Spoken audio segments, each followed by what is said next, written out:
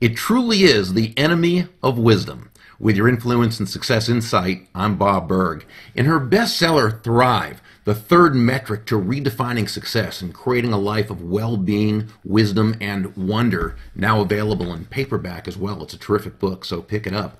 Arianna Huffington, well, she shared a whole lot of wisdom, ranging from uh, the ancient Greek philosophers to biblical wisdom to more modern day health, wellness, and, and business wisdom. She shared some wonderful advice, fantastic wisdom from her, her main mentor in life, her mom, who advised her that multitasking is the enemy of wisdom. And when thinking about it, it really makes sense. Uh, after all, wisdom can be defined as applied knowledge.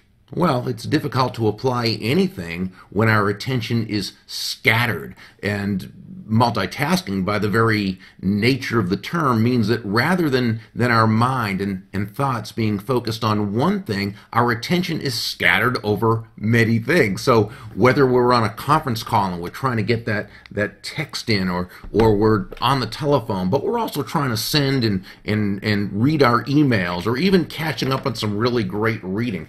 It seems like a great idea. After all, we're busy. Why not try and accomplish a few things at a time instead of just one? But it never really works out. At least for me, it doesn't, and I don't think it does for many others either. So, some great wisdom would be to avoid the temptation of multitasking because it truly is the enemy of wisdom. With your influence and success insight, I'm Bob Burg. Make it a great day.